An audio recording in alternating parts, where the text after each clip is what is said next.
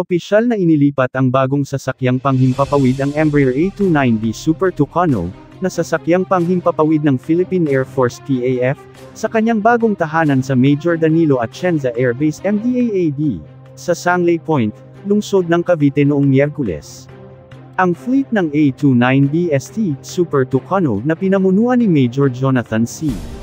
Si Barawid, Squadron Commander, 16th Attack Squadron, ay umalis mula sa Clark Air Base at gumanap ng low pass bago gumawa ng kanilang unang landing sa MDAAD.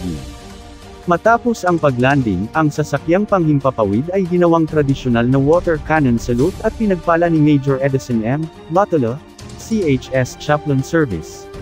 Sinundan ito ng pagbuhos ng ceremonial na champagne upang markahan ang kagalakan at kabanalan ng okasyon, sinabi ng 15th Strike Wing ng PAF sa isang post sa Facebook noong Miyerkules ng gabi. Dagdag nito na ang 15th Strike Wing Commander, Brigade General, Aristotle D. Gonzales, at iba pang mga ranggo na opisyal ng unit, ay tinanggap ang mga piloto at ang limang A29B sa sakyang panghimpapawid. Ang napakahalagang pangyayaring ito ay nagtatapos sa pagsisikap ng taon at isang pagsasakatuparan ng isang pangarap para sa 15th Strike Wing upang makakuha ng isang moderno at mas may kakayahan na fixed-wing na platform na magpapatuloy na may hatid ang AFP ng kinakailangang firepower laban sa lahat ng anyo ng mga kalaban na balak na baluktutin ang kapayapaan sa ating bansa, sabi ni Gonzales. Ang apat na A29B ay isang closed support attack na sasakyang panghimpapawid ang dumating sa bansa noong ikalabinsyam ng Setyembre taong 2020, habang ang natitirang dalawa ay dumating noong ikaisa ng Oktubre ng parehong taon. Ang isa sa sasakyang panghimpapawid ay sumasailalim pa rin sa pag-aayos kasunod ng isang aksidente noong Hulyo ng taong ito.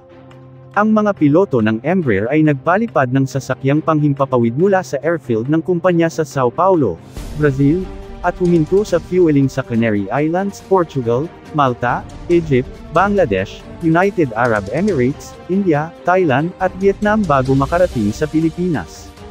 Ang sasakyang panghimpapawid ng A29B ay naunang naka-schedule na may hatid sa pagtatapos ng Hulyo ng nakaraang taon ngunit ang pandemiyang coronavirus at kasunod na mga pagbabawal sa paglalakbay ay sumama sa mga schedule ng paghahatid. Ang Super Tucano ay isang sasakyang panghimpapawid na turboprop na dinisenyo para sa magaan na atake, kontra-insurhensya, malapit na suporta sa himpapawid, mga misyon ng reconnaissance ng himpapawid sa mga mababang kapaligiran sa banta, pati na rin ang pagbibigay ng pagsasanay sa piloto. Ang kontrata para sa sasakyang panghimpapawid ay nagkakahalaga ng 4.97 bilyong peso at naibigay noong huling bahagi ng 2017. Para sa mga sumusunod pang mga videos, Huwag kalimutang mag-like, share, click ang notification bell icon at mag-subscribe. Maraming salamat po.